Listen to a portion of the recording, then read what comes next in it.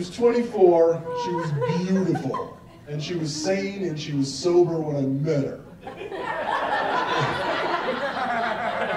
and I was single at the time, and when you're my age, if a woman that young and that hot is interested in you, you have to hook up with that, because other dudes my age will kick the shit out of me if I don't, right? You're gonna die someday. What's wrong with you? Don't let that go. Let me explain something to you before I tell you this joke.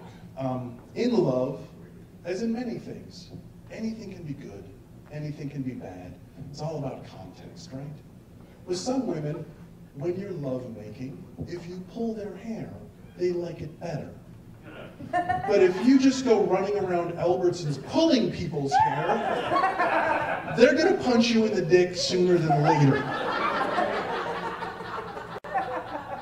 Now, there's some men, it's a small minority, but there's a couple of men in the world, and all they want to do when they get home to their ladies just bury their face right in that musty, clammy part. They just want to get right in there and get, and that's what they dream about. That's how they spend their day. At the same time, if that guy's sitting at Subway having a sandwich and you run up to him and just slap him in the face with a vagina, he's gonna be like, hey, let me get my head in the game. Are you? With you? And like most of sex, like 75, 85% of sex is putting a penis in a hole. There's like maybe 10, 15% that's putting a hole next to a hole, and that's great. But most of sex, a lot of sex, is putting a penis in a hole. And if you have the right combination of holes, you don't have to be that magically delicious to run up with to anybody with a penis and go, How'd you like to put that penis in one of these holes? And they will go, I got five minutes, don't tell anybody.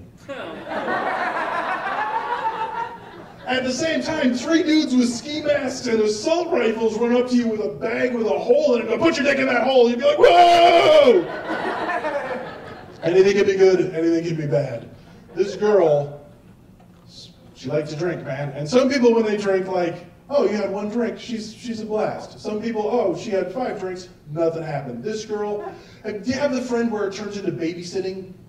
I'm talking about? They get a couple of shots and they're like, oh, this is awesome. Thank God we're doing this. Over the course of this relationship, I got to say out loud to an adult with a driver's license, you can't sleep naked in the back of my car. It's 40 below. You'll freeze to death. I got to say, did you wake up in the middle of the night, almost burn down my kitchen making a grilled cheese and leave me a plate full of ketchup?